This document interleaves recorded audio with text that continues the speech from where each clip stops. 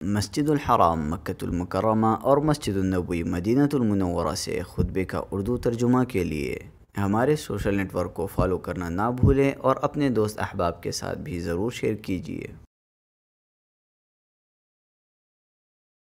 मस्जिद नबी शरीफ का तारीख बारह मुहर्रम चौदह सौ तैतालीस हिजरी के मुताबिक बीस अगस्त दो हज़ार इक्कीस अनवान ज़िक्र की अहमियत और फजीलत खतीब फजीलत Sheikh doctor Ali bin Abdulrahman Hudhaifi तर्जुमा बआवाज़ हाफिज मोहम्मद इकबाल राशिद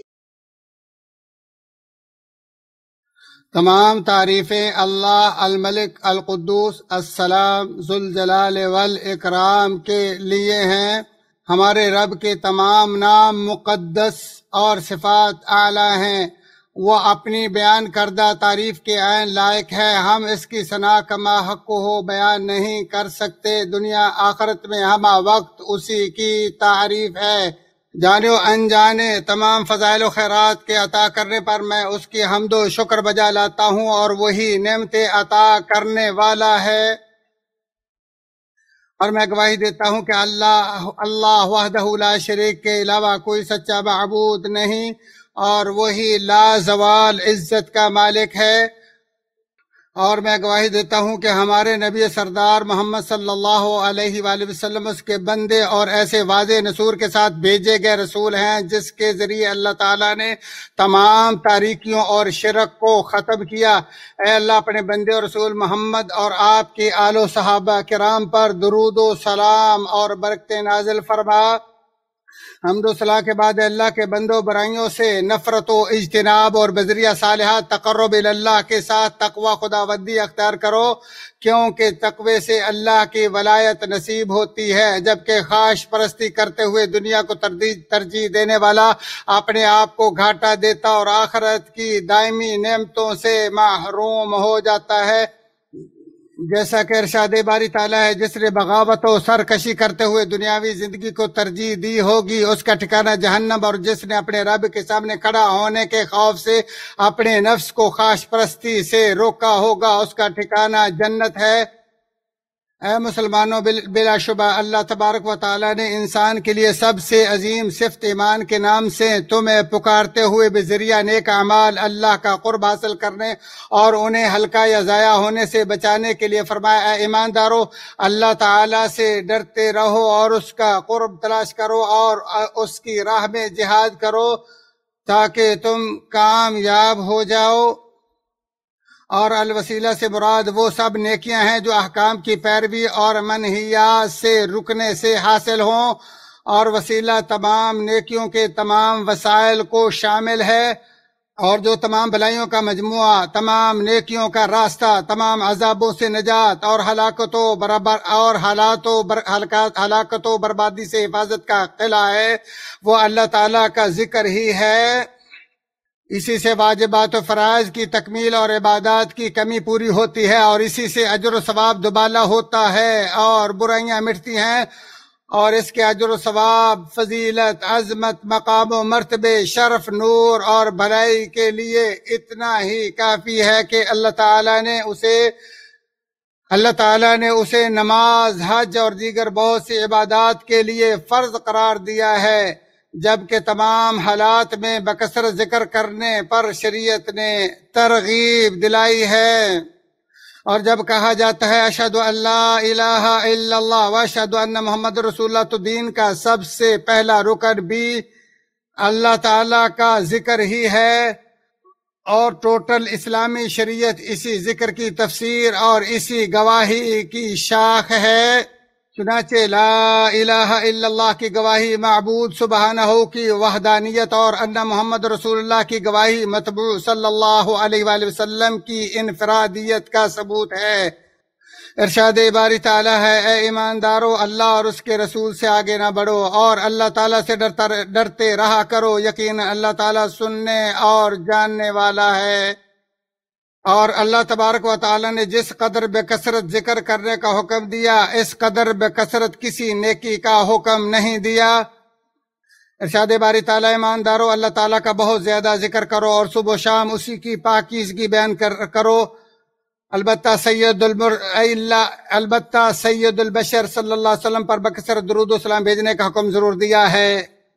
जैसा कि आप वसलाम का इरशाद ग्रामी है, जुमे के दिन मुझ पर बहुत ज़्यादा दरूद भेजो, सो तुम्हारा दरूद बिलाशुबा मुझ पर पेश किया जाता है। हदीस सही है, इसे अहमद इसे अहमद अबू दाऊद इबन इबन माजा, इबन हिब्बान ने औस बिन औस रज़ी अल्लाह से रवायत किया है। और इसी तरह आप सलाम का फरमान कि जिसने मुझ पर एक बार दरूद भेजा, उस पर अल्लाह ताला दस बार दरूद भेजता है और इसके दस गुना माफ़ और दस दर्जे बुलंद हो जाते हैं।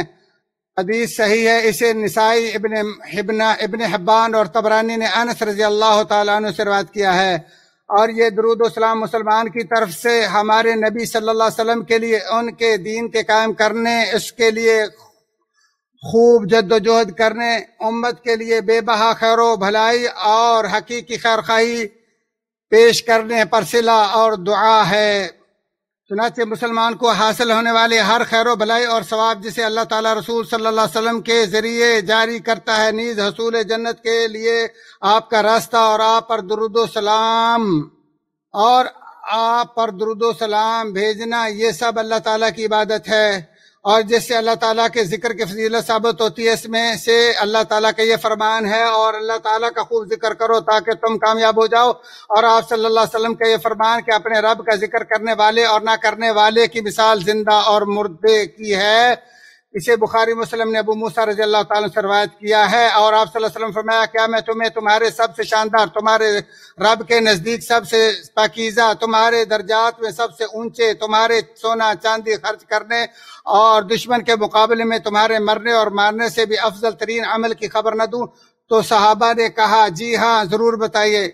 तो आप सल्लल्लाहु अलैहि वसल्लम ने फरमाया, वो अल्लाह ताला का ज़िक्र है।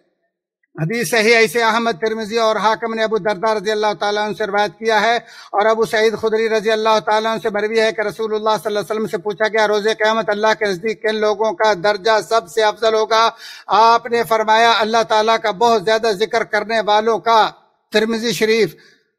अब्दुल्ला बिन बुसर रज़ी अल्लाह ताला से मरवी है कि नबी मुकर्रम सल्लल्लाहु अलैहि वसल्लम के पास एक आदमी आया और कहा अल्लाह के रसूल, इस्लाम के वाजिबात फराज तो हम पर बहुत ज़्यादा हैं, लिहाजा आप हमें कोई ऐसी जाम इबादत बताएँ जिस पर हम डट जाएँ। तो आप सल्लल्लाहु अलैहि वसल्लम ने फरमाया, तुम्हारी ज़ुबान हमेशा ज़िक्र इलाही से तर रहे, इसे अहमद, तिरमजी, इबन माजा और इबन हिब्बान ने रवाज किया है। चुनाचे ज़िक्र इलाही से अमाल पकीज़ा और उनकी कमी दूर होती है और ज़िक्र करने वाला अपने छूटने वाले अमाल भी पा लेता है और इसके गुनाह भी मिट जाते हैं। ज़िक्र इलाही के तीन दर्जात हैं। पहला दर्जा, दिल से अल्लाह का ज़िक्र करना और अल्लाह ताला इसका सवाब अपने फजल करम से अता करता है। जैसा कि रसूलुल्लाह सल्लल्लाहु अलैहि वसल्लम ने फरमाया, अल्लाह ताला फरमाता है, मैं अपने बंदे के गुमान के मुताबिक हूँ और उसके साथ होता हूँ जब वो मुझे याद करता है। अगर वो मुझे अपने दिल में याद करे तो मैं भी उसे अपने नफ्स में याद करता हूँ। इसे बुखारी मुस्लिम ने अब हुरैरा रज़ी अल्लाह किया है। दूसरा दर्जा, दो दरमियाना दर्जा है और वो ये है कि मुसलमान अपने रब का ज़िक्र अपनी जबान से करे और इसका दिल बसा औकात उसके बफून से गफर रहे। तो ऐसा मुसलमान बहुत बड़ी भलाई को हासिल करने वाला है और इस दर्जे के सवाब के सिवाय अल्लाह के कोई शुमार नहीं कर सकता। और ज़ुबान से अदा करने की वजह से इस दर्जे का अजर पहले दर्जे से भी ज़्यादा है। जैसा कि आप सल्लल्लाहु अलैहि वसल्लम ने फरमाया, बेशक बंदा अल्लाह की रजामंदी वाला कोई ऐसा लफ्ज बोलता है जिसे वो कुछ नहीं समझता मगर इससे अल्लाह ताला उसके दर्जात बुलंद कर देता है। इसे बुखारी ने अबू हुरैरा से रवायत किया है। तीसरा दर्जा और वो ये है कि बंदा ज़ुबान से ज़िक्र करे और उसके साथ साथ दिल में भी उसका मफहम और अजमत इलाही उजागर हो। और ये दर्जा ज़िक्र के तमाम दर्जात में सबसे आला है। और ऐसा ज़िक्र करने वाला भलाइयों की तरफ़ सबकत ले जाने वाला और सबसे अरफा दर्जात का मालिक होगा। जैसा कि आप सल्लल्लाहु अलैहि वसल्लम ने फरमाया, अगर कोई सिद्ध के दिल से गवाही दे के अल्लाह के अलावा कोई सच्चा मबूद नहीं और मैं बेशक अल्लाह का रसूल हूँ और इसी पर गामजर रहे तो वह मरने के बाद ज़रूर जन्नत में जाएगा। इसे अहमद ने रिफा रिफा, जोहनी रज़ी अल्लाह से रवायत किया और इस हदीस में ज़िक्र के जबानों दिल दोनों से सादर होने का बयान है।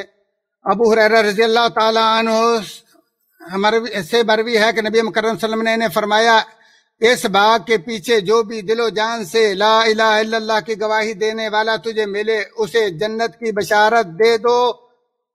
मुस्लिम शरीफ अल्लाह सुबहानो के ज़िक्र का मतलब सुबहान अल्लाह वलहमदिल्ला वला इला वल्लाह अकबर, वला हौला, वला अजीम। पढ़ने और बकसर दुआ इस्तगफार करने से रब जल्ला अला की विडियाई बयान करना है। इसी तरह नबी मुकर्रम सल्लल्लाहु अलैहि वसल्लम पर दरुद्लाम पढ़ना भी ज़िक्र इलाही में शामिल है। नीज हमारे रब ताला को हर नक से बेऐब और हर उस चीज़ से पाकिजा करार देना, जो उसकी इज़्ज़त, अजमत, किबराई, कमाल, जमाल और जलाल के शायान शान न हो। और अल्लाह ताला की मखलूक में से हर किसी से उसकी तस्वीर की नफी करना और और रब्बुल आलमीन के पकीजगी, तारीफ़ और आयतल कुर्सी और सूरह हसर के आखिर में मजकूर, उसके शानदार नामों, अजीम सिफात और हकीमाना अफ़ाल के ज़रिए सनाखानी करना ही इसकी सबसे बड़ी वडियाई है। नीज मखलूक़ात पर रब की नेमतों के तस्करे से उसकी ताजीम बजा लाना। जैसा कि इरशाद बारी ताला है, लोगो अपने ऊपर अल्लाह की नेमतों को याद करो। क्या अल्लाह के सिवा कोई खालिक है जो तुम्हें आसमानों, ज़मीन से रोजी अता करे? और फरमाया, तुम अपने ऊपर अल्लाह के उस वक्त के एहसान को याद करो, जब तुम एक दूसरे के दुश्मन थे तो उसने तुम्हारे दिलों में उल्फत डाल दी। बस तुम इसकी मेहरबानी से भाई भाई हो गए और तुम आग के गड़े के किनारे पहुँच चुके थे। तो उसने तुम्हें बचा लिया। अलावा दीगर आयात भी हैं। ज़िक्र जबान पर आसान और मीजान में भारी है और इससे दिलों की पाकिजगी और इससे दिलों की पाकिजगी, ज़िंदगी और अमाल की असलाह और इसके सबरात का हसूल अल्लाह और उसके रसूल सल्लल्लाहु वसल्लम की मोहब्बत के बगैर नामुमकिन है। और तिलावत कुरान करीम सबसे अफजल ज़िक्र है। क्योंकि ये रब्बुल आलमीन की तमाम तारीफात, नेमतों के ज़िक्र, शरीयत की तफासिल, हर खैर भलाई की तरगीब और शर से रोकने पर मुश्तमिल है। ए मुसलमानों, ये तो ज़िक्र की खैरात, बरकत, मुनाफे और नूर का बयान है। अलबत् ज़िक्र का अजर सवाब तो इतना अजीम है कि जिसे किसी आँख ने देखा और न इसका किसी इंसानी दिल पर खटका हुआ है। चुनाचे ज़िक्र इलाही के अजर स्वाब के बारे में अबू हुरैरा रज़ी मरवी के रसूल ने फरमाया, जिसने दिन के शुरू में, जिसने शुरू में ला शरीक हमदुल्लाशैन कदीर। पढ़ा इसे दस गुलाम आज़ाद करने के बराबर सवाब मिलेगा। सौ नेकियाँ लिखी जाएँगी सौ खिता मिटा दी जाएँगी और शाम तक दिन भर ये वजीफा शैतान से इसकी हिफाजत का जामिन रहेगा। और इससे भी ज़्यादा पढ़, बार पढ़ने वाले के सिवा कोई भी इससे अफजल अमल वाला नहीं आएगा। बुखारी मुस्लिम इसी तरह हानि रज़ी अल्लाह तला कहती है, मैंने कहा है अल्लाह के रसूल सल्लल्लाहु अलैहि वसल्लम मुझे कोई ऐसा अमल बताएँ जो मुझे, जो मैं बैठे बैठाए कर लिया करूँ तो आप वसल्लम फरमाया सौ बार सुबह अल्लाह पढ़ लिया करो तो ये आले इस्माइल से सौ गुलाम आज़ाद करने के बराबर हो जाएगा, और सौ बार अल्हम्दुलिल्लाह पढ़ लिया करो तो ये जैनो जमाम से तैयार शुदा तेरे राह लिल्ला पेश करदा सौ घोड़ों के बराबर हो जाएगा, और सौ बार अल्लाह अकबर पढ़ लिया करो तो ये निशान ज़्यादा सौ ऊँटनियों की मकबूल कुर्बानी के बराबर हो जाएगा और सौ बार ला इलाहा पढ़ लिया करो तो इसके सवाब से आसमान और ज़मीन का खला पूर हो जाएगा। हदीस हसन इसे अहमद नसाई और हाकमत ने रवाया किया है।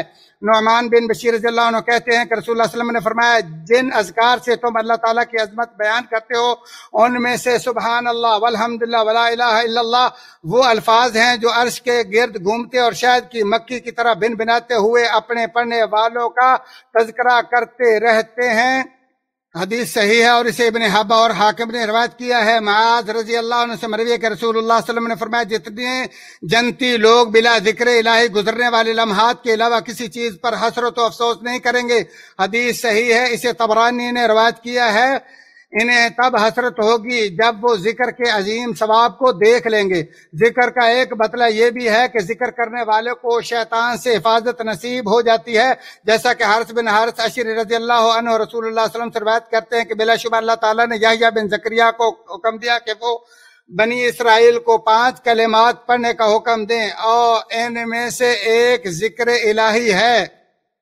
क्योंकि इसकी मिसाल उस आदमी की तरह है जिसके पीछे दुश्मन बड़ी तेज़ी से लगा हो और वो किसी मज़बूत किले में दाखिल होकर आप, अपने आप को इस दुश्मन से बचा ले। इसी तरह बंदा अपने आप को शैतान से सवाए ज़िक्र इलाही के बचा नहीं सकता।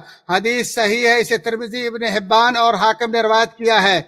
और ज़िक्र का सबसे बड़ा अजर सवाब जहन्नम से निजात और जन्नत और सबसे बढ़कर अल्लाह की रजा मंदी का हसूल है।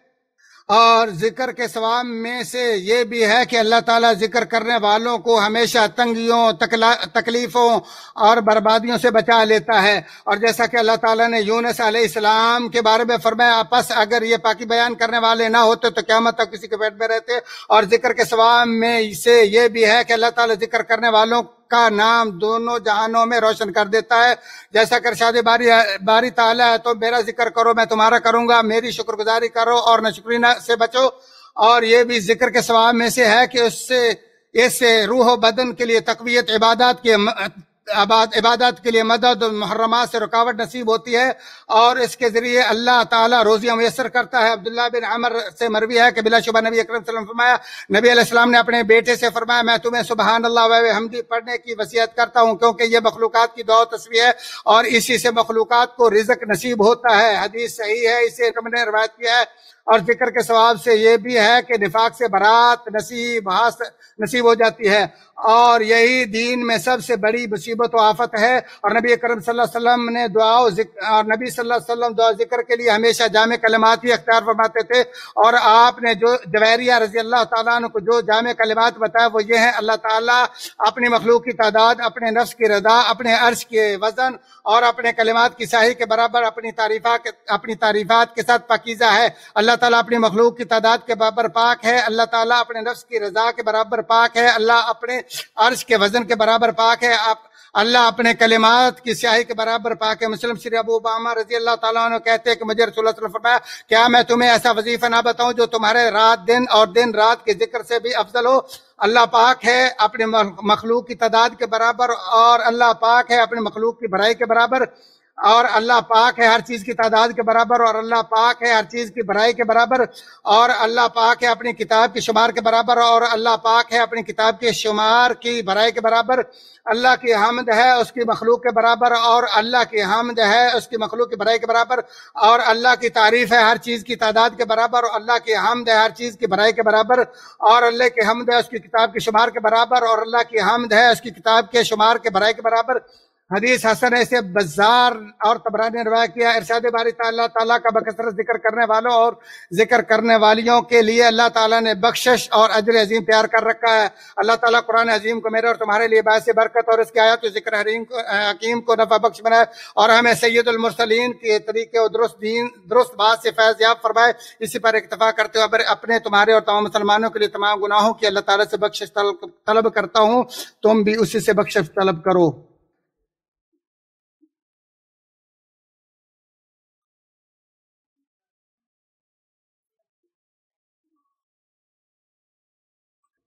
तमाम तारीफें उस रबालमीन के लिए हैं, जो नेक लोगों का दोस्त इतात करने वालों का कदरदान और नाफरमानों को माफ़ करने वाला है। मैं अपने रब की जानी अनजाने उन तमाम नियमतों पर हमद बजा लाता हूँ, जिन्हें उसके सिवा कोई शुमार नहीं कर सकता, और मैं गवाही देता हूँ अल्लाह वादा शरीक के अलावा कोई सच्चा महबूद ने जो इंतहाई ताकतवर व मज़बूत तरीन रोजी दाता है। और मैं गवाही देता हूँ हमारे नबी सरदार मोहम्मद के बंदे रसूल अमीन है, अल्लाह अपने बंदे और रसूल मोहम्मद और उनके आलो असहाब पर क्यामत तक दुरुदलाम और बरकत नाजल फरमा। हमदुसला के बाद हराम उमूर से दूरी और नेकियों के ज़रिए अल्लाह का तकवा अख्तियार करो। अल्लाह के बंदो, गफलत और एराज और उम्मीदों के गुरूर से अल्लाह से पनाह मांगो। बिलाशुबा तुम ऐसे वक्त मुकर से गुजर रहे हो, जो हर बैद को करीब और हर नए को पुराना कर देता है। और अल्लाह ताला ने तुम्हें रसूल सल्लल्लाहु अलैहि वसल्लम की पैरवी का हुक्म देते हुए फरमाया यकीन तुम्हारे लिए रसूल सल्लल्लाहु अलैहि वसल्लम में उमदा नमूना मौजूद है।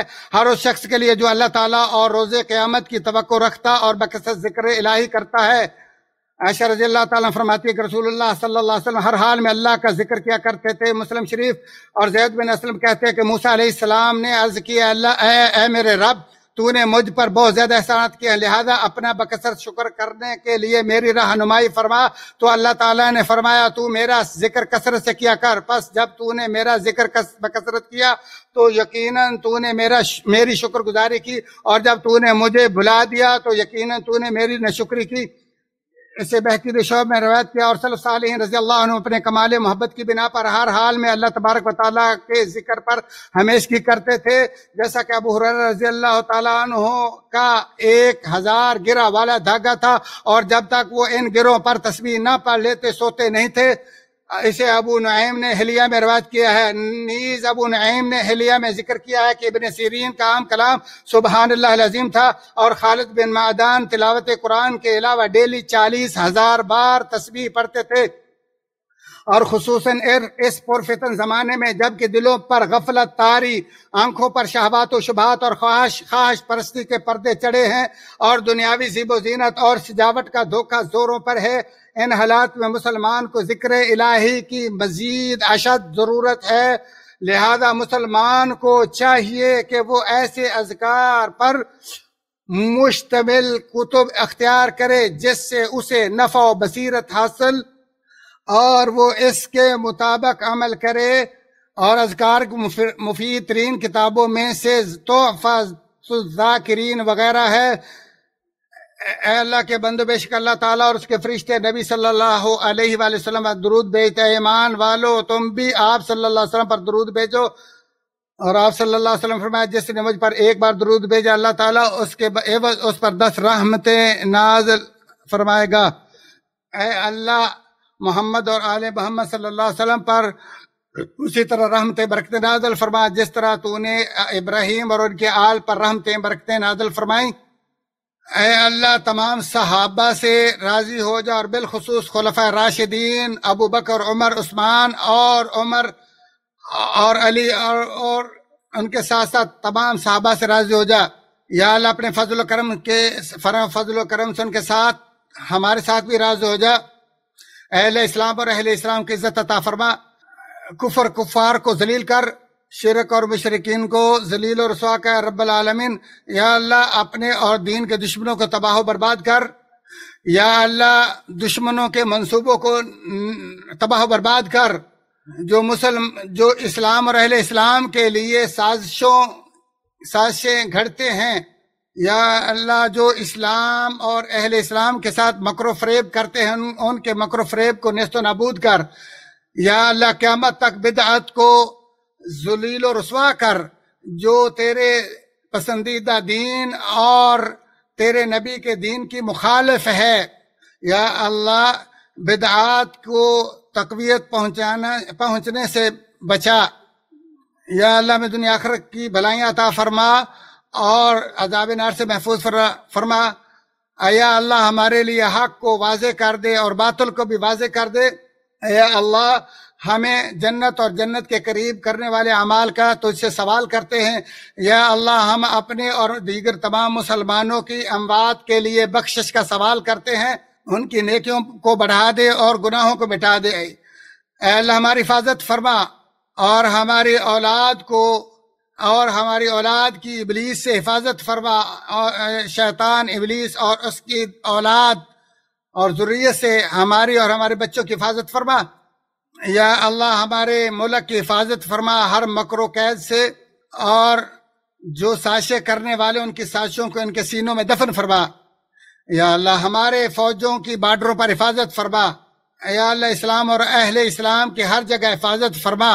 या अल्लाह तमाम मुसलमानों की अहवाल की हर हा, हर हाल और हर जगह पे हिफाजत फरमा इसलाह फरमा। या अल्लाह अपने बदे खादम हरमैन शरीफैन, खादम हरमैन हरमैन शरीफैन को अपने पसंदीदा कामों की हिफाजत फरमा। या अल्लाह उसको हर भलाई की तरफ़ उसकी रहनुमाई फरमा। या अल्लाह उसे राह रासत की रहनुमाई फरमा और अच्छे कामों की तोफीक अता फरमा और ऐसे कामों की तोफीक दे जो उसे अच्छे कामों पर लगा सके। या अल्लाह हर किस्म की बुराइयों से, जला, जलजलों से और सूद से और इसम की तमाम बुराइयों से हमारी हिफाजत फरमा। अल्लाह के बंदो, अल्लाह ताला तुम्हें आदलो एहसान का हुक्म देता है, बेहया बुराइयों से मना करता है। अल्लाह का बकसरत ज़िक्र करो, वो तुम्हें याद करेगा, शुक्र करो, वो तुम्हें नेमते देगा। अल्लाह का ज़िक्र सबसे बुलंद है और जो तुम करते हो, अल्लाह उससे खूब आगाह है।